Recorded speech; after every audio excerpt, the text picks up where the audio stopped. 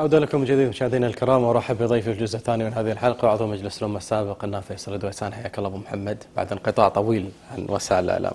أهلا بك. بداية أبو محمد يعني كمراقب للشأن السياسي ومتابع له ولك تصريحات عديدة.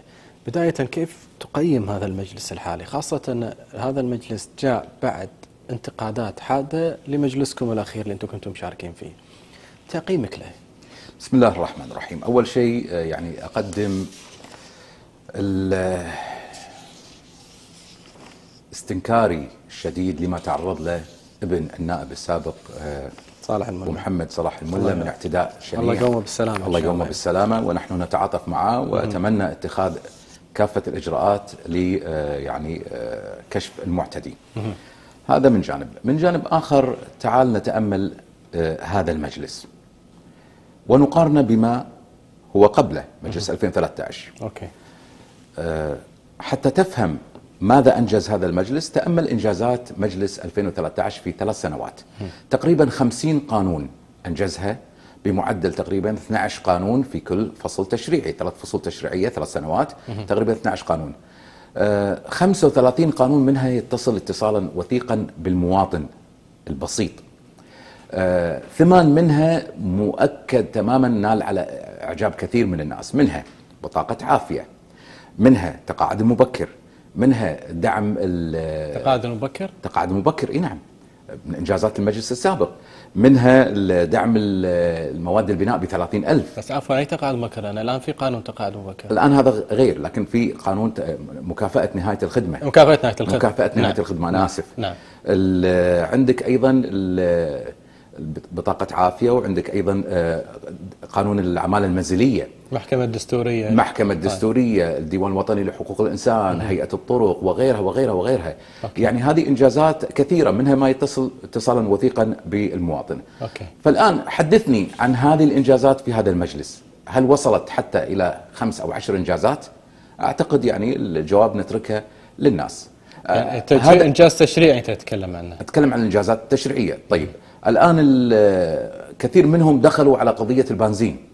إن الحكومة إن المجلس قصر في مواجهة الحكومة في قضية البنزين وأن حتى 70 لتر التي آه، وعدت الحكومة وعدت بإعطائها في مجلس 2013 لم تتحقق في المجلس الحالي. الآن أقول للناس اسألوا النواب الحاليين أين هذا ال 70 لتر؟ أين الوعد بتنزيل آه، سعر المحروقات؟ لم يحدث من هذا يعني لم يحدث شنو تفسيرك؟ من هذا. هو مجرد كلام للاستهلاك فقط. يعني إذا أنت للأسف كان في الفترات السابقة عندما يطرح المرشحون أنفسهم على الساحة النيابية كانوا عادة عادة يهاجمون الحكومة وتقصيراتها. الآن أصبح عندنا موديل جديد أن يهاجم النائب أو المرشح مرشحا آخر. وأصبح يعني ما في ما في أحد يضع رؤاة وافكاره وخططه وما عن آه، والقضية التي سيتبناها ابدا. فقط هو مجرد هجوم على نواب حاليين آه، حتى يحل محلهم أو مرشحين آخرين وبس وتاركين الحكومة.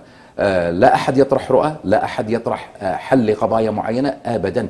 وحتى التيارات السياسية كان المفروض أن يكون لديها برنامج واضح وخطوط عريضة. أوكي. هذا لم نسمع له فقط مجرد ردود قل أفعال. قلت تصريح في 1 7 2018 المجلس الحالي مكبل ومهان من الحكومة وكشف حقائق بعض النواب وتحدى قيامهم بإحالة المفسدين إلى النيابة. نعم هذا واضح.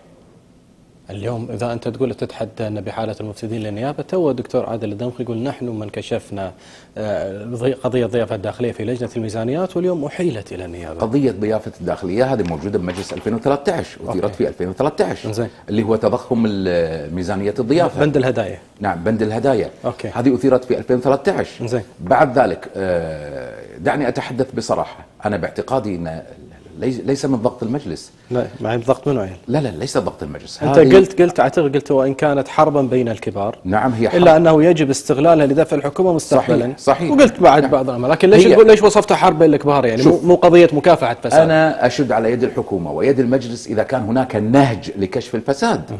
آه بمعنى هل تم كشف الفساد في الحيازات الزراعية؟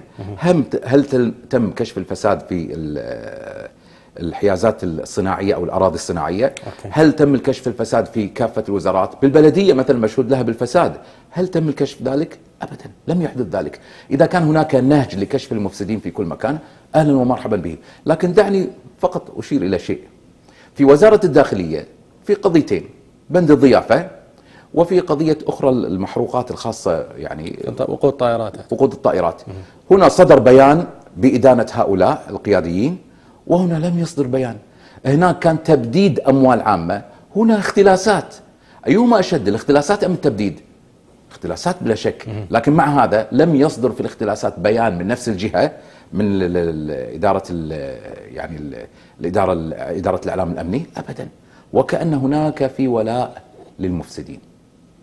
باعتقادي ال- بس ليش اللي قاعد تصوره اللي قاعد تشوفه اليوم أبو محمد ما هي يعني هي بداية أتمنى- بداية لحرب على الفساد. أتمنى أن يكون هناك فعلا قرار سياسي بمحاربة المفسدين.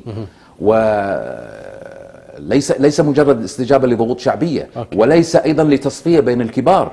ما أريد أن يكون هناك فعلا حرب على المفسدين. والحرب على المفسدين لا تكون فقط في في سرقة الأموال العامة بل هناك الشهادات المزورة الناس المزورة قضايا كثيرة.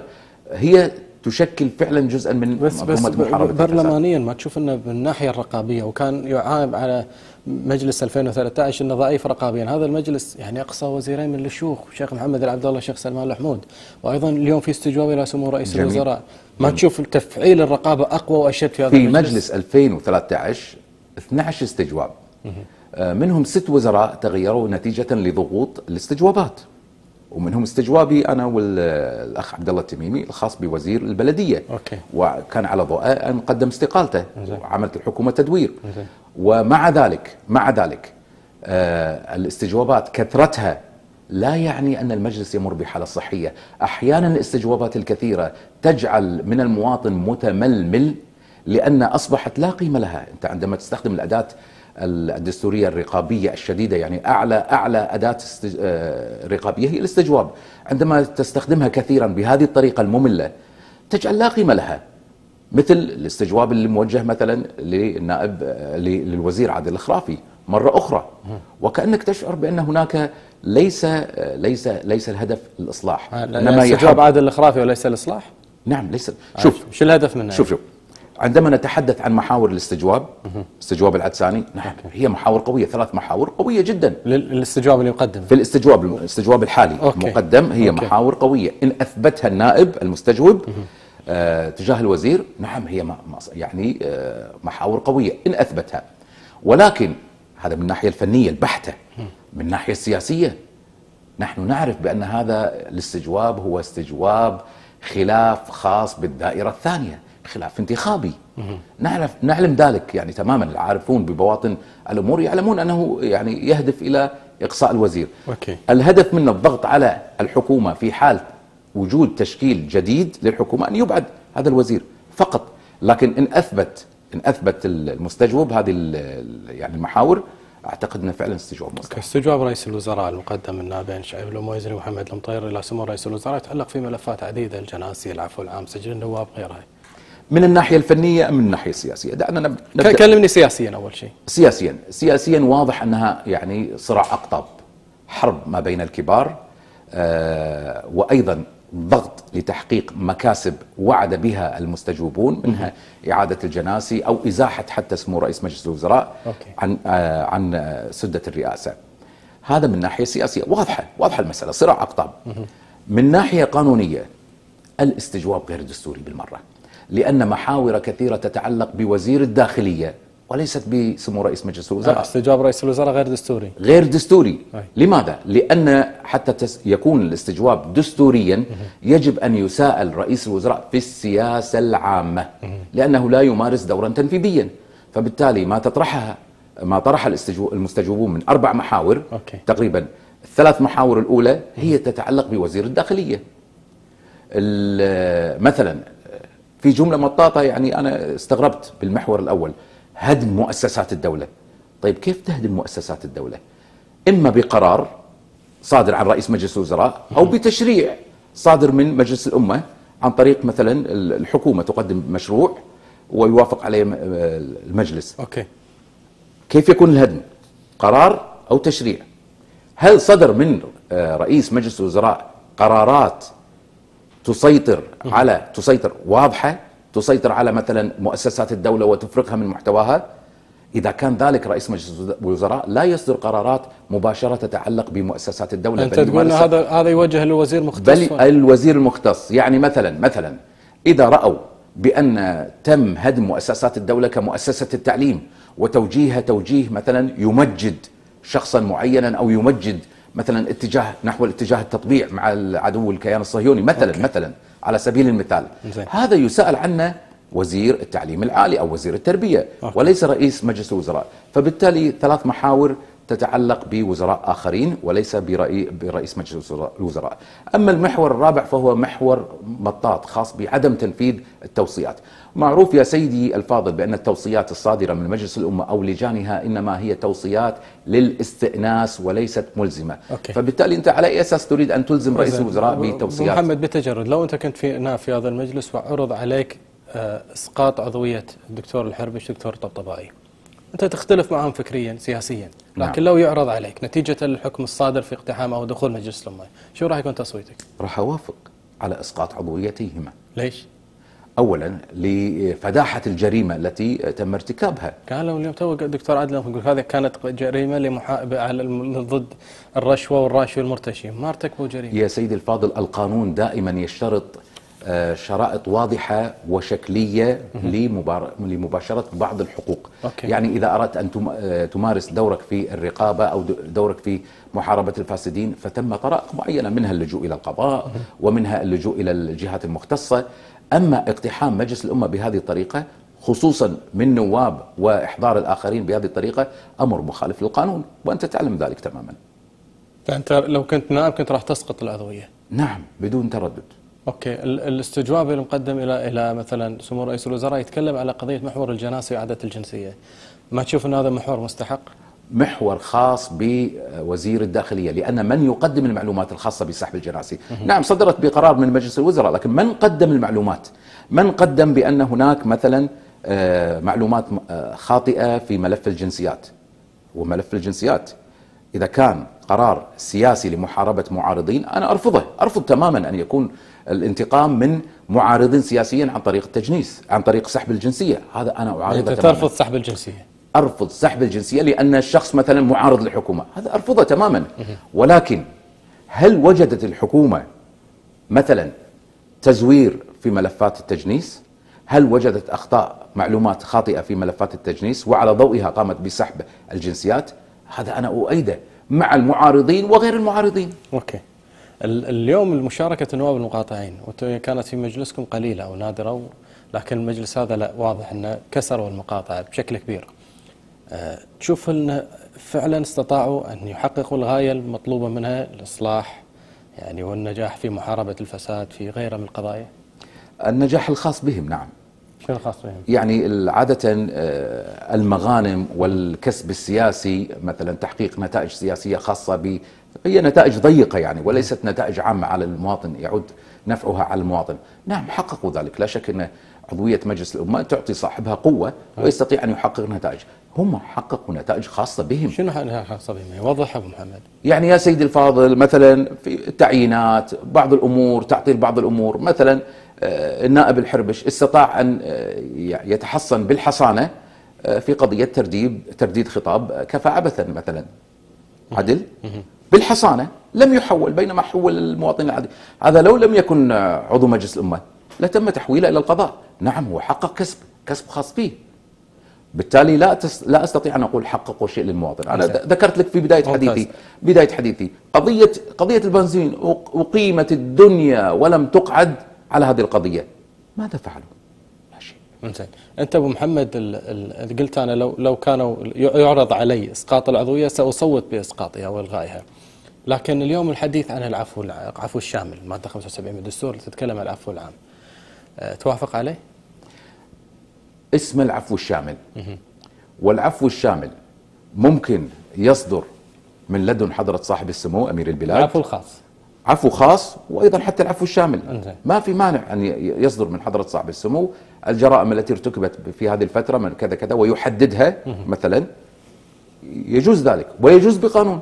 ممكن قانون يصدر آه، يعني إما من الحكومة حكومة تتقدم بمشروع أو مجلس الأمة يتقدم بقانون وبالتالي يشار إلى نوعية هذه الجرائم أو يشار إلى أصحابها. لكن في مشكلة قانونية وهي أن القانون ينبغي أن يتميز بالعمومية والتجرد. يعني ما تقدر تقول والله جريمة فلان الفلاني وفلان الفلاني وفلان الفلاني. ما في تجرد. ففي إشكال قانوني أمام هذا هذا الشيء. لكن يعني بقرار تشوف انه هي عفو ليس شامل ولكنه هو مغلف بإطار شامل لكنه في عفو محدد يعني. نعم. فبالتالي ما قدم حاليا في مجلس الأمة وما سمعناه من مجلس الأمة هو فقط للعفو عن مجموعة سياسية معينة فقط لكي تنجو من آه، يعني ال- ال- العقوبات الخاصة بها. أما بقية ال- المغردين وما إلى ذلك آه، لا لن يشملهم ذلك. أوكي ال- النواب الشيعة اليوم أكلمك عنهم تحديدا شوي. آه، في المجلس الماضي لما كنت أقوم ببعض المقابلات في الحملات الانتخابية البعض كان ينتقد فيصل الزويسان منهم صراحة ومنهم بالإشارة. آه، اليوم لما وصلوا تشوف إن الأداء تغير؟ فرقوا عن أدائكم؟ لا شوف أنت لما تتحدث عن النواب الشيعة هم كبقية النواب يعني من ناحية فنية ما يعني تحليلك وتقييمك لبقية النواب يحدث للنواب الشيعة من حيث عملهم وجدهم واجتهادهم وتقديمهم. هذا كله لكن في قضايا خاصة في, في قضايا يريدها الناخب الشيعي. الكويتي الشيعي قدروا- مثلا مثلا يريد المساواة في المناصب القيادية. لا يريد أن يكون هناك نظام محصصة. محصصة إحنا مغلوبين لأن عددنا قليل. فبالتالي المحاصصة ستكون لغيرنا. يريدون اعتماد الكفاءة. اعتماد الكفاءة سوف يضمن ال- العدالة هذا مطلب. عام اعتماد الكفاءة. مطلب عام ولكنه للأسف غير معمول به. okay. وبالتالي الحكومة دائما ترفض أن تقدم قانون لتعيين القياديين. يعني الموجود في قانون الخدمة المدنية آه، تستطيع أن تعين بالباراشوت وبأي طريقة معينة لكن كنا نريد أن نلزمها بقانون لكن كل مرة نقدمه يسقط يعني بحل المجلس أو بإبطال المجلس وما إلى ذلك. لذلك أنا حريص أن الحكومة تقدم مشروع حتى لا يسقط إن حل مجلس الأمة. هذا من جانب في قضايا أخرى مثل قضية قانون الوحدة الوطنية يريد الجميع آه، يعني يعني مثلا الشيعة يريدون أن لا يشعروا بأنهم الحلقة الأضعف عند تطبيق هذا القانون أوكي. بحيث تكون العقوبة مغلظة عليهم اداء مخففة. ادائهم اليوم ادائهم جيد هل أدائهم بالنسبة لناخبين الشيعة؟ خاصة ما كان طبقا للانتقادات اللي كانت توجه آه، سيدي الفاضل آه، النواب الشيعة بالذات المستقلين دعني لا أتحدث عن المنتمين أو المنضوين تحت لواء التيارات السياسية لأن هؤلاء لهم نهج مختلف ونتائج مختلفة وغير. لكن المستقلين نفس الشيء. يدخل فلان يطلع فلان نفس الشيء. ونفس. ونفس الانتقادات توجه لهم. ليش؟ آه، سيدي الفاضل لأن بعضهم بعضهم بعض الناخبين يريدون فقط المعاملات. بعضهم يريدون مواقف. بعضهم يريدون مثلا الشيعة مثلا ليسوا واحدا. في شيعة ليبراليين. هؤلاء معظمهم يطالبون بالقضايا العامة. آه، كحل يعني آه، لا يتميزون بقضاياهم الخاصة. مو مهم عنده تبني مسجد يقول لك آه، بناء المسجد يعني هو كحق حق لأبناء الكويت. يعني ينبغي أن يكون هناك. يعني ما يهتم بقضية مو لكن مو مهمة بالنسبة لنا مو مهمة بن- ليست أولوية بالنسبة له. آه لكن بعض ال- ال- ال- الناخبين الشيعة لا يريدون مواقف معينة. بالتالي مواقف ليس لا تستطيع أن ت- تحققها في ظل تناقص عدد نواب الشيعة لكن هم البعض كان ينتقد ادائكم يقول لكم أن أنتم يعني منزوين ومنضوين تحت راية الحكومة مثلا شوف- شوف- اليوم. شنو ترد عليهم؟ شوف يا سيدي الفاضل أولا مشكلة إن المرشح أيا كان أنا قلت لك في بداية حديثي أنه بدل ما يقدم رؤاه وتطلعاته ياخذ له واحد من المرشحين ال- ال- اللي موجودين خصوصا نائب سابق أوكي. ويضرب فيه ويجعل أصحابه يبثون الإشاعات عنه وكثرة القيل والقال؟ وهذا ويشغلك بقضية الدفاع عن نفسك. تعرضت له؟ إي تعرضت له كثير. زين تعرضت له كثير عادي. وبالتالي آه، يستغل كل الأساليب ال- ال- المحرمة شرعا والأساليب المحرمة قانونا ويثير الإشاعات وكذا وكذا وكذا وكذا. ليش؟ لأن ليس لديه قضية ليس لديه رؤى ليس لديه تطلعات حقيقية. أسهل طريق للفوز هو أن أسقط الآخر ال- ال- النائب أو المرشح أو النائب السابق من عيون الآخرين لأنه يقولون ها لا ما دام كل الصفات المزينة فيه خلينا نشوف واحد ثاني. فهو يطلع بمظهر الملاك آه، هذا. طبعا هو بعضهم ما ينتقد مباشرة وبعضهم آه، يجعل أصحابه ينتقدون ويقدمون كل هذه المعلومات. لكن. لكن اللي من كان ينتقدك اليوم؟ تشوف انه تغير في أداء أم أن أداء كان لا. يا سيدي هذا يعني متروك للناخبين. أنا لا أستطيع أنا أقول إني أنا أفضل منهم أو هم أفضل مني هذا متروك للناخبين لكن آه عادة يعني آه يتهمونك بأنك حكومي ثم يدخلون المجلس ويصبحون حكوميين أكثر منك على الأقل أنا صح هذا واقع على, موجود. على الأقل يا أستاذ علي أنا قدمت استجوابات عدد أربع استجوابات أنا قدمها قدمتها للحكومة ثلاثة منهم آه للوزراء من الأسرة الحاكمة وبالتالي أنا ما خفت من أحد وقدمت ما يملي علي أي يعني استجواب ضميري. قدمت للاسره الحاكمه؟ آه، استجواب وزير الإعلام الشيخ أحمد العبد الله استجواب أحمد الحمود وزير الداخلية. ما نوقشت. آه، ما نوقشت لأن المجلس ما مكنني في المناقشه مو حذفوا استجوابي إلى دور الانعقاد المقبل وبالتالي أبطل المجلس بعد ذلك. وقدمت استجواب الآخر استجواب قدمته للوزير البلدية. آه، وعلى. ضوء استقال. البعض كان يقول في الحملات الانتخابية كان ياخذ تصريحك داخل مجلس الامه إن يوم كنت مع صار في نوع من المشادة وكنت غضبان داخل الجلسة مع الرئاسة. فقال لك الرئيس أنت راضي؟ فقلت له إذا أنت راضي الكويت كلها راضية. البعض كان ياخذ هذا التصريح وينتقدك عليه يقول نائب ما مهنته شوف اللي شوف شو اللي قبله. اللي قبله أنا كنت أتخانق مع الرئاسة. في قضية الوقت أو شيء قبل اولا كنا نتحدث عن قانون إنزال سن الحدث من 18 إلى 16 اللي عدل في هذا المجلس. أنا كنت معارض. أنا كنت معارض. قلت لهم هذا يتناقض مع قانون الطفولة. ويتناقض مع المبا... المواثيق الدولية. ما يصير. لكن للأسف رئيس مجلس الأمة يعطي آه، أحد النواب الآخرين سبع دقائق للمدح مدح الحكومة ومدح هذا القانون وما إلى ذلك وأنا مو راضي لأني أنا الصوت المعارض في هذا. القانون. وبالتالي على فكرة أنا حققت نتائج إيجابية قبل أن يأتي وزير الداخلية الشيخ محمد الخالد ويغير كثير من من وجهة كثير من النواب. كانوا فعلا متوافقين معي فيبدو أن بعضهم اتصل فيه قال له تعال الحق على قانونك قبل لا يطير. لأن فعلا اقتنعوا كثير من النواب إنه غلط ننزل من 18 إلى 16 قلت لهم راح يصير في إعدامات لناس عمرهم 16 سنة راح يصير في كذا وكذا. صو- صورتنا الدولية. فاقتنعوا. بمجرد أن جاء الوزير تغير كل شيء. فبالتالي أنا قعدت أتهاوش مع الرئاسة على موضوع إعطاء الوقت. وكل شوي الرئيس يقول لي ما عندي وقت. أوكي. بعدها ب- ب- قلت أنت إذا أنت راضي الكويت كلها راضية. يا هو بعض النواب استغل لا لا هو من باب من باب ال- ال- المجاملة وشكر الرئيس انه. استغلال المرشحين لها. لهذا القول. تشوفه منصف كان أو كان. مجحف في حقك. مو بس هذه يستغلوها أحيانا يستغلون كثير من الأمور بالقطع. يعني استخدام الفيديو في كثير من الناس يناقشوني يقولوا أوه أنت مو حافظ آية قرآنية؟ أضحك. أقول لهم من قال لكم؟ أنا رديت وقلت لهم هذه آية قرآنية نعم وكذا اللي هو صم بكم عمي. آه فيقول يقولوا لي شلون أنت مو حافظه تقول مثل. قلت لهم أدري ان أنا أرى أنها مثل من القرآن. والأمثلة تضرب إما من الأشعار أو القرآن وهذا قلته. okay. هذا كله قاطعينه. فبالتالي وايد أمور يقطعونها عليك ويقول لك شوف النائب okay، لكن- فكثير من الناس يقول لك أنا سامعك وشايف الفيديو وأنت تقول كذا. قلت له أنت شايف اللي قبله؟ شايف اللي بعده؟ مو صحيح. ال- ال- مثلا النائب دكتور النائب السابق دكتور عبد الحميد عبد الحميد دشتي اليوم قاعد يوجه انتقادات لا عن تحديدا النواب الشيعة وذاك المجلس ككل. انت أنت تشوف ما ما أنت تكون معاه في هذا الانتقاد أم أن هذا الانتقاد الهدف لضرب النواب؟ وجهة نظرك فيه. شوف سيدي الفاضل لا يلام النائب السابق عبد الحميد دشتي لأنه شعر بخذلان كبير. شعر بخذلان؟ إي نعم. أنا كنت أحد الداعين إلى تقديم الاستقالة. إذا آه يعني تم إلغاء عضوية النائب عبد الحميد دشتي. كتسجيل موقف okay. بأننا كلنا متضامنين معه.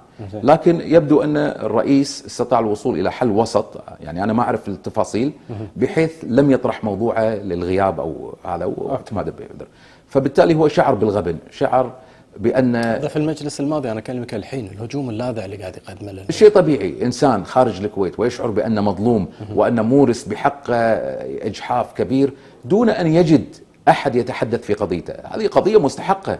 آه عبد الحميد عبد الحميد دشتي لا يمثل نفسه، يمثل ممكن لأي شخص آخر ممكن يحدث له مثل هذا مثل هذه الأشياء، هو عبر عن رأيه. آه عبر عن رأيه، اعتبرت أنت التعبير عن الرأي هو جريمة. واخرون عبروا عن رأيهم بطريقة أشد من عبد الحميد دشتي. ولكن للأسف هي قضية سياسية موجهة لذات عبد الحميد. فأنت معاه في إنه يوجه النقد للنواب اليوم؟ ما ألومه. ما تلومه ما ألومه. ما ألومه. ما الومه هل أحد يتحدث بقضيته؟ هل أحد؟ لأن ممكن ممكن أي نائب منهم يتعرض لما تعرض لعبد الحميد دشتي. أوكي أنت في في ال- في المجلس الماضي آه، كانت لك خل... كان في خلاف بينك وبين أحد النواب اللي هو أخذ اقتراحك. ما بقول اسم النائب أخذ اقتراحك وقلت يا نفس الشيء حتى بالفاصلة حتى بال بالنقطة. حتى في المجلس الحالي أعتقد النائب أحمد الفضل اشتكى على بعض النواب نعم. أن المقترحات هي نفسها. ماخذ أكثر مقترح أو مقترحات بعد. الله يذكره بالخير هذا النائب. هو إيش يقول لي؟ يقول لي مثل ما أنت جبته إحنا جبناه بعد. أنت من وين جبته؟ قلت له قلت له منو؟ أنت تدري من اللي هذا قلت له أنا مو بايقة من أحد علشان تقول لي أنت جبته ولا اقتراح قديم. قلت له شلون. أنا كاتبه بايدي قلت له قلت له تدري شنو مشكلتكم؟ مشكلتكم ما تكتبون قوانينكم بيدكم. تجعلون آخرون ينسخون قوانين قديمة ويقدمونها. على أساس أنت تكثر تقول والله من إنجازاتي قدمت 50 مقترح بقانون. هذه مو إنجازات. ترى مو العدد الكبير نوعية القانون اللي تقدمه. لذلك أنا كنت أبتعد عن القوانين ذات الطا- الطابع الاقتصادي والمالي. تدري ليش؟ لأني أدري إنها راح آه، ترفض. فبالتالي أنا أبحث عن ذات النوعية المختلفة اللي ممكن تفيد الوطن. بالتاريخ يوم من الأيام يقول الله يذكره بالخير الفلان فلاني عمل لنا أوكي. بس هذه قاعدة تتكرر اليوم يعني تكررت المجلس الحالي ومن هناك من اشتكى. يعني أول شيء ما ما ما تعتقد إن هناك آلية للرقابة يجب أن توضع؟ لا هو ما يمنع. يعني اللائحه الداخليه في مجلس الأمة ما يمنع أن أنت تاخذ اقتراحي نفسه وتقدمه باسمك. وبالعكس هذا يقويه ترى هذا يقويه لكن أنا ما وقعت فيه بالمشكلة. يعتبر حقوق حقوق ملكية. لا ما في حقوق ملكية. بالعكس هذا يقوي. بالعكس أنا أكون سعيد لما أحد يقدم اقتراحي. لكن تدري شو المشكلة؟ إن اقتراحي تم إيقافه بإحدى اللجان وإيقاف من قام بنسخ اقتراحي واعتباره هو الأصل. يا جماعة أنا مقدمة بالتاريخ الفلاني. كيف كيف سقط؟ كيف مو من موجود اللي سوى الإجراء هذا؟ آه ما أدري. لا بس يعني متعمد إنه يشيلون اقتراحك يعطون اقتراح واحد ثاني وهو ماخذ نفس الاقتراح مقتبسه يعني أنا ما ما أعلم بالنيات يعني هل هو متعمد لكن أنا أعرف إن بعض الاحيان يكون مثلا لك اقتراح يكون حبيس الأدراج مثل قانون تحديد القيمة الإيجارية. كان هذا مضر بالتجار. فرئيس اللجنة التشريعية كان حاطه بالدرج ونايم عليه لمدة سنتين. كل يطلع شوية يناقشه شوية ويرد ينومه رئيس لجنه التشريعيه في المجلس الماضي في المجلس الماضي يطلع شوية ويعني يناقش القانون شوية وبعدين يرد يخشه بالدرج مرة ثانية يقدر, يقدر رئيس لجنة يقوم بهذا طبعا إي طبعا ليش رئيس لجنة؟ ليش الحكومة تتدخل بانتخابات اللجان؟ ليش تبي فلان رئيس وفلان مو رئيس؟ في في. تد... في الحين كان قبل شوي الدكتور عادل دمخ يقول لك إن تدخلت انتخابات اللجان وأثرت على حتى عملها الفني. تأيد أن الحكومة تتدخل ولا يقول لك وخاصة أن الحكومة هو عضو في البرلمان أو أن لا الحكومة تنأى بنفسها. شوف من الناحية السياسية من الناحية السياسية الحكومة يعني من حقها. من الناحيه الدستورية من حقها. أوكي. لكن كناحية سياسية الأفضل أن تبتعد وتترك المجلس حرية ذلك. يعني كنت أتمنى ذلك لكن بما أنها شريك معاك في صنع القرار السياسي شيء طبيعي تتدخل. ترتاح لفلان أكثر من فلان. فلان يسمع كلامها أكثر من فلان. فلان يعاند مثلا. فلان غير متعاون معها شيء طبيعي. على فكرة التعاون هو المنشود ولكن نحن لا نريد التهاون. نريد تعاون حقيقي احترام عقلية النائب المنتخب من قبل الأمة. آه، المشكلة يا سيدي الفاضل أن الحكومة دائما تشوف نفسها هي اللي فاهمة. وأن النواب هذيل مجرد آه، أناس آه، تحركهم المصالح الخاصة بناخبينهم وأنهم يريدون دغدغة المشاعر وأن هي اللي تفهم مصلحة البلد. هذه مشكلتنا مع الحكومة. لا تعتبرنا رجال دولة للأسف لأن تعتقد أن القرارات أو القوانين أو الاقتراحات اللي نقدمها دائما آه، تصب في مصلحة الناس ولا تصب في مصلحة الدولة هي شايفة أن تفهم تفهم الناس أكثر منا أوكي. ما أثير عنك في محمد في قضية الحيازات الزراعية. وكل بين فترة وفترة يبرز هذا الموضوع، راح أكلمك عنه ولكن بعد هذا الفاصل.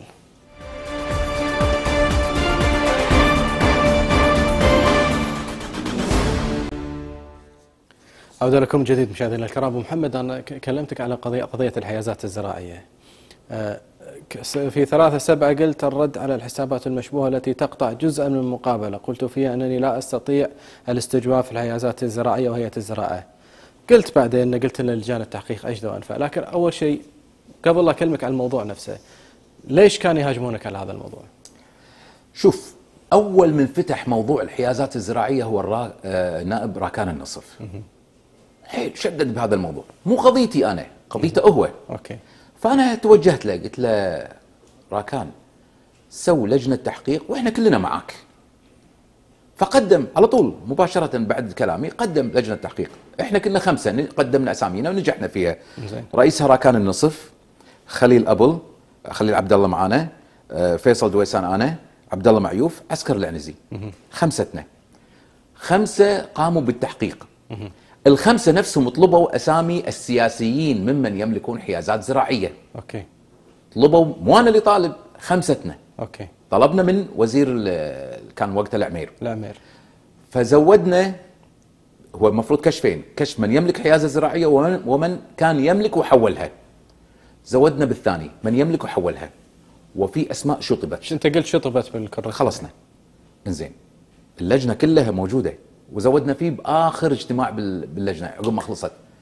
يا رئيس اللجنة ترى الموضوع كذا كذا. خير إن شاء الله. okay. خمس أربع نواب غيري. لماذا لم يتحدث أحد؟ إذا تبي تلوم إذا هناك من يريد أن يلوم لا تلوم من تحدث. زين؟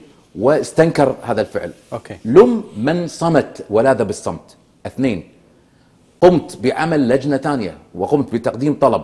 okay. وقلت ما أبي أعد أقدم لجنة تحقيق أخرى. عندكم لجنة حماية المال العام برئاسة النائب عبد الله الطريجي النائب السابق. okay. تفضل. هذا هذه أدلة. ناقشوها. خمسة أيضا في لجنة حماية المال العام. ووجدوا واكتشفوا أشياء أكثر مما اكتشفناها. مع ذلك لماذا لم يتحدث أحد غيري وغير عبد الله الطريجي في هذا الموضوع؟ وين الأربع نواب في لجنتنا؟ وين الأربع نواب في لجنته؟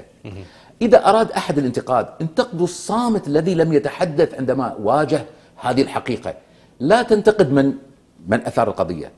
هم اعتقدوا إن أنت لما تثير القضية وهناك سياسيين لديهم حيازات زراعية بعضهم أخذها بطريقتين طريقة مباشرة وآخر قام بتسجيلها لسكرتير له أي بس أو قريب لك له. ليش ما ليش ما. فعلت دورك الرقابي؟ لا فعل دوري رقابي. من قال إن الدور الرقابي فقط استجواب. قدمت دور رقابي من اللجنة الأولى أنا من أشرت على راكان وفي اللجنة الثانية أنا من قدمت هذه القضية لعبد الله طريجي رئيس لجنة حماية المال العام. شنو الدور أكثر من كذي؟ لكن عندما سئلت لما لا تقدم استجواب أنا جاوبت. okay. لكن لما تقطع أنت جوابي وأنا كنت أقول لجان التحقيق أجدى وتحقق نتيجة وأنا ما أبي الوزير أبي الفاسدين اللي داخل الهيئة وهذا يقطع من المقابلة وبالتالي شو تسوي؟ الناس تسمع الجزء الموجود. okay. ومن أثار هذه القضية؟ هم سياسيون بالدرجة الأولى، هم نواب في المجلس آنذاك ضايقهم هذا الأمر وأرادوا شيئين، إما أن أتقدم باستجواب وبالتالي يت- يتعمق الفساد أكثر من خلال المفاوضات مع الوزير. والله إحنا نوقف وياك بس تعرف في مساومات. مساومات. بالتالي أنا أعمق الفساد دون أن أعلم من خلال الاستجواب. اثنين قدم استجواب واذكر أسامي الفاسدين. بعض الناس بحسن نية يقول لك كذي لن أمكن من ذكر اسم أحد لن أمكن حتى في قضية الإيداعات لم يمكن نائب المستجوب من ذكر أسامي اللي اتهموا في الإيداعات المليونية. تذكر؟ قال أساميهم بسرعة وقطعوا الميكروفون عنه. من اللائحة الداخلية أساسا. من اللائحة الداخلية. اذا لن أنجح في ذلك وسوف أعمق الفساد أكثر. أيهما اجدى شلون تعمق الفساد أكثر؟ مو تصير اتفاقات صفقات. ما بين بس الوزير إذا فضحت الاسامي بهالحالة راح توضعهم في موقف محرج مثل ما صار في قضية الإيداعات يعني. يا سيدي الفاضل قضية الإيداعات قضية كبرى ومع ذلك مع ذلك لم لم تحل. وهذه قضية ثانية قال عنها قضية إيداعات أخرى قالها النائب خليل عبد الله. قالها قضية إيداعات أخرى. زين. بالتالي كانت الأسامي وعلى فكرة موجودة لدي الأسامي وشفت الأسامي وأعرف وأعرف عندك الأسامي؟ نعم قرأتها. قرأتها. وين قريتها؟ قرأتها موجودة عندي. لا. الحين موجودة عندك؟ موجودة عندي بس أنا ما أقدر أكشف مصادري وأقول من اللي جاب لي ومن هذا. موجودة عندي. تفاصيل لها ومنو عنده؟ كم عنده حياته وشلون حصل عليها؟ إي نعم. وهذا اللي ما جاوب عليه ال- الوزير علي العمير موجود عندي. تحصلت عليه. زين لو كنت أنت مقدم استجواب وف- وفاجئته بال... يا سيدي الفاضل اولا اولا. اولا بالاسامي هذه إيش راح أولاً- تسوي؟ أولاً. ما كنت ما كنت راح تحقق شيء. اولا حصلت هذه الأسامي بعد خروجي من عضوية مجلس الأمة. أوكي. لأن البعض من الموظفين كان خايف. كان خايف كان عدد من المفسدين كانوا مسيطرين على الهيئة. بالتالي خايف يقدم هذا الشيء. حصلت هذه الأسماء بعد ذلك موجودة. ال- المشكلة في مكافحة الفساد تم تقديم بلاغ عن الحيازات الزراعية. قانون الهيئة لا تستطيع أن تقدم نفس البلاغ. ما تقدر تقدم نفس البلاغ. وإن حفظ لكفاية الأدلة. عشان كذا هذا قانون الهيئة. هذا قانون. خلاص قدم قدم فلان قبلك. تعال فيصل أنا حصلتهم بعد. في أسماء أنا اطلعت عليها آه، داخل اللجنة. أوكي. الأوراق مو عندي. زين في نفس الانتقادات كانت البعض يتكلم إن اليوم يعني النائب السابق سيد حسين القلاف ساعات كان ينتقد فيصل دويسان. هو ما بقى حد ما انتقده. انتقد الكل يعني. سيد حسين نوجه له تحية يعني. السيد دائما تلاقيه مفاعل ومشارك شوف يعني. شوف على المستوى الشخصي أوكي ليش كان يهاجمك؟ لا لا شوف على المستوى الشخصي علاقة بيني وبينه سيد جدا الله. واحترام متبادل. هو خلاف سياسي هو يختلف معي سياسيا. هو يقول أنت أحيانا بعض المواقف اللي تتخذها تضر أكثر مما تنفع. هو وجهة نظره كذي. هو قال عني أنا أشبه حسن جوهر. حسن جوهر بالعكس. إنسان راقي جدا ورائع جدا في عمله البرلماني. حسن جور يعني كان ينتقد أن وقوفه مع المعارضة مثلا. أنت ما وقفت مع المعارضة. هو وقف هو وقف مع المعارضة ومدح زعيم المعارضة مسلم البراك. طيب مو هذا يح يعني حسين. واحدة من ثنتين. يا سيد حسين يعني أنت تمدح مسلم البراك والنائب حسن جوهر وقف مع مسلم البراك. فبالتالي يجب أن يحظى حسن جوهر بمدحك يعني. أنت انطر رد السيد حسين الحين. والنعم إيه، فيه شوف السيد والنعم فيه. ولا أراء. وممكن يصيب وممكن يخطئ. وأنا كذلك ممكن أصيب وممكن أخطئ. وأنا دائما أدعو الجميع للنقاش لأن ممكن أبين أنا صوابية موقفي وممكن يبين خطأ موقفي. وبالتالي إذا أنا مخطئ ممكن أتراجع عن خطأي بس أنت كنت دائما تقول حق النواب اليوم اللي قاعد يتهمونك إن أنت ما ذكرت أسامي الحيازات الزراعية. قاعد توجه لهم اللوم إنه يلا أنتم اذكروا أسامي من من آه، عنده حيازات زراعية. ما قلت هذا الشيء. ما قلته؟ لا ما قلت هذا قلت الشيء. ودي أن أسأل النواب الشجعان في مجلس الأمة الذين اتهموني بالتهاون عند متابعتي لملف الحيازات الزراعية لعدم ذكر الأسماء المتورطة صونا لكرامة المتهم حتى تثبت إدانته، لما لا تفضحون أسماء المزورين؟ مو هذا اللي يطرحونه يلا تفضلوا. مزورين الشهادات. مزورين الشهادات. okay. وعندهم مزورين الشهادات. من نفس الباب. okay. أنت مو تتهمني تقول آه أنت ما فضحت الأسامي؟ وأنا نفس الشيء أقول لك تفضل. شلون انت يعني رمتني بدائها وانسلت انت تتهمني إن أنا تسترت عليهم.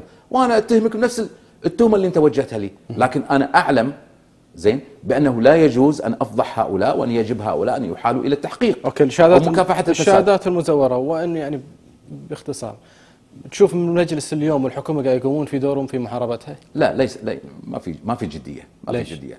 آه هذه القضية محرجة للحكومة لأن هناك قياديين لديهم شهادات مزورة آه هناك ربما أعضاء مجلس الأمة ربما ربما. ربما وزراء لديهم شهادات مزورة أو مضروبة أو من جامعات غير معترف غير معترف فيها. فيها فبالتالي القضية محرجة محرجة. لكن أمام الحكومة طريقة للإصلاح فهي أن تقول لل- لل- للشخص المهم مثلا والله روح عدل وضعك أو قدم استقالتك كبار الموظفين مثلا قدم استقالتك واطلع بهدوء حتى يعني آه، نتخلص من هؤلاء. أوكي. ال- القضية اللي أثيرت قبل يومين اللي هي قضية تصريح رئيس مجلس الامه مع رئيس البرلمان العراقي. أه، وجهة نظرك فيها؟ لا أنا يعني هو شوف من يريد أن يلقي اللوم على السيد رئيس مجلس الأمة ويتهمه وي- ويتاجر سياسيا بال- بالخلاف معه سيبحث عن أقل شيء أقل شيء أبسط سوء تفاهم. فبالتالي واضح مفهوم كلمة توافه الأمور مو مقصود فيها آه، يعني ما قصد هو فسر تفسير. ليش التفسير؟ فسر. مو شيء طبيعي. يقول لك إحنا معروف شنو بيننا وبين العراق فشلون كيف تصفها بالتوافق؟ أنا أكرهك. فبالتالي هل أنا أف- أحسن الظن فيك؟ لا لازم أسيء الظن فيك. هذا هذا اللي صار. يكرهون رئيس مجلس الأمة وهم على كل خلاف الحملة سياسي. الشعبية يكره يعني؟ لا لا مو كل مو بعض الناس من يقود الحملة الشعبية هم هم غرف. غرف مظلمة تدار بالخفاء أوكي. ويتم دفع المال لها من قبل مغردين وما إلى ذلك. والناس البسطاء تتأثر بهذه الحملة. يعني أنا ما أقول لك أغلب الناس لا أغلب الناس مساكين. يعني وين يعني يطلع رأي من هنا يأيدونه يقولون إي والله صح ليش قال كذا؟ فبالتالي حتى يبين موقفه. الآن السيد رئيس مجلس الأمة بين موقفه. خلاص الناس سكتت. واضح إنه ما كان يقصد. مع انه كان يصدر بيان توضيحي ولا كان المفروض انه خلاص تكون كلمة لا لا هو آه، يعني تعليق آه، بسيط على هذا ورد وخلاص وانتهت القضية. okay. في في نفس في إطار آخر اللي هو اليوم تعيين الديوان الوطني لحقوق الإنسان. هذا ال هذا ال المرسوم أو إن هذا القانون أنت تبنيته.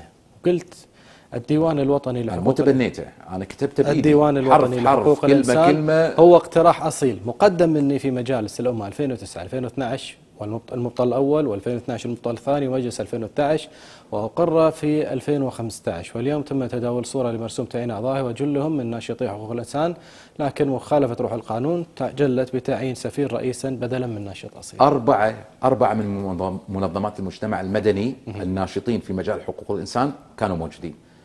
أما الأغلب لا منهم سفيرين. ومن شروط التعيين في مجلس إدارة الديوان الوطني لحقوق الإنسان أن يكون هناك آه، يعني خبرة ثلاث سنوات على الأقل في مجال حقوق الإنسان. مو شخص قرأ ورقة دفاعا عن الكويت في مجال حقوق الإنسان تعتبره ناشط في مجال حقوق الإنسان.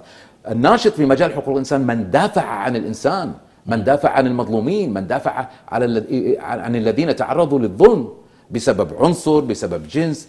مشكلة الناس يا سيدي الفاضل لا يعرفون قيمة الإنجاز في الديوان الوطني لحقوق الإنسان. الناس مو مو فاهمة شنو الديوان. وليش كلمة ديوان؟ ما يدرون أن أخذنا كلمة ديوان من ديوان المظالم حتى تشتكي الناس. مو عارفين إن هذا أهم إنجاز حضاري لدولة الكويت. تدري شنو الديوان الوطني لحقوق الإنسان؟ أنت كشخص لو كنت موظف حكومة وكنت تستحق ترقية وقام شخص رقى آخر لأن ابن قبيلته أو لابن مذهبه وبالتالي أنت ظلمت. تستطيع أن تتقدم إلى الديوان والديوان يقوم برفع قضية على هذا وتقديم كل هذا والتحقيق. هذا في القانون الحالي؟ في القانون الحالي نعم. هذا ديوان حقوق الإنسان. لكن عدل بعد تعديلات ولا لا للأسف هو أضعف في بعض الجهات. لكن لكن شوف سيدة يمارس ضدها التمييز الخاص بالجنس لأنها سيدة والله ما تأخذ منصب ويعطون واحد ثاني أقل منها تستطيع اللجوء له. في الح... في القانون الحالي. بالقانون الحالي. يعني من يظلم وظيفيا انت بتقول يلجا مو بس وظيفيا حتى في مراكز الإيقاف والاعتقال. اي مثلا شخص والله لأنه يعني مثلا مارس حقه بالتعبير عن رأي. مختلف عن رأي مثلا ال- اللي تتبناه الدولة الرسمي مثلا. وبالتالي يظلم ويعني شو أقول لك يتعرض إلى لا. يتم الانتصار له. كيف تم إضعاف القانون؟ ضعف القانون من خلال اولا تعيين الحكومة تدخل الحكومة في التعيين مباشرة. الحكومة بتعين ناس. هذا غيره مجلس تدافع. إي مجلس مجلس. الحالي. هذا قال له في مشكله مشكلة دستورية. مو مشكلة دستورية مو صحيح هذا المشكلة. دي. وافق المشكلة إن الحكومة وافقت على القانون القديم وهي صوتت. ما طيب، فعلت. هي صوتت على القانون. بس الحكومة اكتشفت إنها بلعت موس. اكتشفت إن القانون قد يكون التعيين عن طريق مجلس الأمة أو تصويت مجلس الأمة على الرئيس ونائبة قد يكون لا. ممكن رئيس لا يوافق الحكومة أو رئيس يكون منتصرا. يعني تخيل لو كان هذا القرار بيد مجلس الأمة يعين مثلا غانم النجار رجل ناشط في مجال حقوق الإنسان وينتصر. أو شخصية من الشخصيات التي ما يهمها. هذه العنصرية العفنة اللي تطلع من بعض أبناء وطننا ضد الناس البسطاء المساكين. حتى البدون يستفيدون من هذا من هذا شنو يستفيدون من البدون؟ كل ما يختص بحقوق الإنسان ما يمارس ضدهم. من منعهم من التعليم منعهم من العلاج من كإنسان يستطيع أن يتقدم بشكوى. لو شخص حتى يهينه لأنه ما عنده جنسية يستطيع أن يتقدم بشك- بشكوى. ويتدخل مجلس حقوق الإنسان أو ديوان حقوق الإنسان تدخل قضائيا ينضم إلى الدعوى. ينضم okay. إلى الدعوى ويقول أنا بعد أرفع القضية على هذا الشخص. مو من فلان ضد فلان من الديوان ضد فلان. okay ال ال ال ال في يتصل في قضية البدون. وأنت كنت دائما تتكلم في في في هذه القضية. اليوم تشوف يعني الجهاز المركزي والتصريحات الأخيرة لرئيس الجهاز تشوفها فعلا إنجازات للجهاز؟ إذا كان الهدف من هذا الجهاز هو تقليل أعداد البدون ودفعهم إلى الهجرة وتضييق عليهم. إي نعم هذا إنجاز. إذا كان هذا في بال هذا كان هذا في بال رئيس ال- الجهاز okay. إيه هذا إنجاز يحسب له. أما إذا كان إنصاف البدون والحل حل المشكلة لصالح الكويت ولصالح هذه الفئة المظلومة لا مو إنجاز. مو إنجاز. لا مو إنجاز. ابدا مو إنجاز. بالعكس شوف قبل كان واحد يتمنى يحصل على جنسية لأنه يستحق الجنسية. الآن صار هدفه بس يحصل على بطاقة عشان يقدر يشتغل فيها. شوف شوف من وين كان شوف وين كانت الأمنيات سقف الأمنيات. الآن سقف الأمنيات يقفون ما نبي جنسية بس عاملونا كبشر. تصور وصلنا إلى هالمرحلة. الآن مو هذه المشكلة في مشكلة أخرى. من تم سحب جنسياتهم يعانون أكثر من البدون. البدون وضعه أفضل منهم. على الأقل ممكن تطلع له بطاقة ويعالج ومش عارف إيش. الآن من سحبت جنسيته إذا ما عنده فلوس ما يستطيع أن يعالج بأي مستشفى من مستشفيات الحكومة. وضعه سيء جدا. غير محترم كإنسان للأسف. هؤلاء يستطيعون أن يلجأوا للديوان الوطني لحقوق- الإنسان. وحتى البدون يقدر يلجأ للديوان الوطني لحقوق الإنسان. أي إنسان يقيم على أرض الكويت سواء كان كويتي غير كويتي مسلم غير مسلم مهما كان عنصره طفل امرأة رجل يستطيع أن يلجأ إلى القانون ويقول أنا ظلمت في الشيء الفلاني ال- ال- الديوان شنو دوره بهالحالة؟ ذاك واحد مثلا من غير محددي الجنسيه وقال أنا مظلوم، شو يقدر يسوي له؟ مو الله يسلمك إذا تم التعيين من خلال الحكومة شيء طبيعي سين- سينسجم مع قرارات الحكومة في هذا الشأن ورؤية الحكومة في هذا الشأن لن ينتصر له ما راح ينتصر له. لا ابدا ما راح ينتصر له مو هني المشكلة أوكي لما صارت بعد بعض الخلافات خاصة مجموعة الثمانين دائما متبنية الجهاز المركزي وبعض القرارات اللي تصدر من الحكومة، أنت صار خلاف ما بينك وبين آه، مجموعة الثمانين. لما انتقدتم ما صار خلاف. ما قلت شيء. آه. ما انتقدتهم. ما؟ ما انتقدتهم أنا قلت مجموعة الثمانين كان لها دور. قضية ال- ال- القانون اللي تم تقديمه هو اللجوء للمحكمة بالنسبة للجناسي وم- وما إلى ذلك اللي خاص بسحب الجناسي. هم كان لهم دور تحركوا اعلاميا وما إلى ذلك حتى فشل المشروع. بس انتهى دورهم. هل كلمة زعلتهم؟ هل تجد أحد لهم أنصار؟ هل تجد فكر منسجم؟ ما يجمعهم ف- فكرة عنصرية بس. ليش عنصرية تصير؟ فكرة عنصرية هم لا يريدون. شوف قانون الجنسية موجود. أنت تبي فقط أبناء الكويت فقط الموجودين حاليا ولا يتم تجنيس أحد أو التجنيس بالقطارة؟ ما يصير. أنت خايف على لهجة الكويت لا تتغير؟ تركيبه الاجتماعيه يا سيدي ت- لهجة الكويت تغيرت. الحين هذه لهجتنا اللي نتكلم فيها أنا وأنت نفس لهجة لهجة جدي وجدك مثلا لا اختلفت زين أنت الحين قاعد تتكلم عن الحفاظ، اليوم حتى البعض قاعد يتكلم لك مو بس على الغير محددين الجنسيه، قاعد يتكلم لك على أيضا الوافدين وإن تعال نفرض ضرائب وتعال نتك... نروح في هذا الاتجاه، تأيد ولا لا؟ شوف يا سيدي قضية الوافدين المواطن يشتكي من الوافد المستشار الكبير اللي اللي يتخذ قرارات أو يسهم في اتخاذ قرارات من قبل مسؤولين كويتيين تؤثر عليه كمواطن. المواطن مو ضد سايق باص يتمون الاستغناء عنه بشركة حكومية وبالتالي تصير أزمة في الباصات الحكومية لصالح شركة خاصة. مو هذا، المواطن مو ضد هذا، مو ضد ممرضين يحتاجهم الوطن، يحتاجهم الشعب. مو ضد مدرسين يحتاجهم في في في, في تعليم أبنائه هو ضد مستشارين يملكون القرار بينما كويتيين يستطيعون أن يحلوا مح- محلهم شو اللي يمنع تجيب مستشار اقتصادي كويتي. شو اللي يمنع تجيب مستشار قانوني كويتي؟ موجودين موجودين. شو اللي يمنع؟ وتعينهم مع فرض الراتب. الرسوم؟ فرض رسوم عليهم اليوم. اي رسوم. يبي الرسوم على المستشفيات ورسوم ضرائب وغيرها. لا، شوف. رسوم تحويلات و... شوف رسوم التحويلات أنا ضدها لأن ستسهم بخلق سوق سوداء وبالتالي زيادة ممكن أسعار. يعني شوف ضرر على المواطن في النهاية. okay. في تاجر مثلا مو كويتي. بالنهاية بيجيب رسوم بيجيب بضائع. شيء طبيعي بيحول فلوس. هذه الفلوس سيكون عليها مثلا ضريبة. بالتالي راح يعلي آه، سعر السلعه زين أنت أبو محمد في لما كنت تحاول تقر الديوان الوطني لحقوق الإنسان. أنتوا رحتوا جنيف مع مجموعة من النواب وكنتوا جبتوا وفقا لمبادئ فرنسا أتوقع. داخل مجلس الأمة النواب لما كنتوا تناقشون البعض كان معارض هذه الفكرة. يا سيدي الفاضل مو بس كذي إحنا داخل اللجنة التشريعية عندما قلت يجب أن تكون هذه هذه الهيئة المستقلة لحقوق الإنسان الديوان الوطني لحقوق الإنسان يجب أن تكون متفقة مع مبادئ باريس. قال لي واحد من النواب قال إحنا أهم شيء يكون عندنا المبادئ الإسلامية.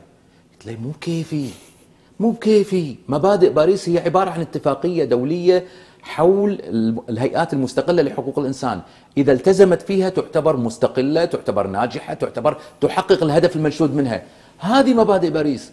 مو مسألة إسلام وباريس باريس غير يعني ما أتكلم عن موضة أنا قاعد أتكلم عن اتفاقية دولية اسمها مبادئ باريس. فمعظم النواب معظم النواب ما كان فاهم ما هو الديوان الوطني لحقوق الإنسان وشنو دوره. فبالتالي بعض أعضاء اللجنة أيضا لجنة حقوق الإنسان ما كان عندهم فكرة كافية. فيعني أنا شخصيا اقترحت عليهم أن نسافر إلى مجلس حقوق الإنسان ونطلع آه، على الموجود هناك ويطلعون على الأفكار الموجودة عندنا. فعلا تم استعراض القانون اللي قدمناه وتم مراجعته وتم تغيير بعض المواد اللي لصالح ال- حقوق الإنسان واكتشفوا بالضبط شنو اللي اللي موجود وأنا أشكر الجميع على تعاونهم. أوكي محمد أخيرا لو آه، تجرى انتخابات حالية راح تنزل؟ آه، يعتمد على الناس، إذا الناس ما يبوني بعد ما أنزل. آه، يعني ما- مو متخذ قرار الرغبة موجودة إنك أنت يعني أنا كنت متعب في المجلس السابق من ناحية المرض، الآن أنا في صحة جيدة وبالعكس الحمد لله. لكن إذا أنا أردت أن أرشح نفسي واكتشفت أن هناك رغبة بعدم أو وجوه الناس انصرفت عني، لا لا أرشح نفسي، أو ربما أرشح نفسي حتى لو ضمنت عدم الفوز لإيصال رسالة معينة، لا بأس بذلك. مشكور أبو محمد لحضورك معنا في هذه الحلقة وإن شاء الله نتكرر في لقاءات أخرى بإذن الله. شكرا أتمنى لك التوفيق على الصعيد الشخصي. أهلا وسهلا. مشاهدينا الكرام وصلنا لختام هذه الحلقة لكم من أطيب المنور اللقاء. Thank you.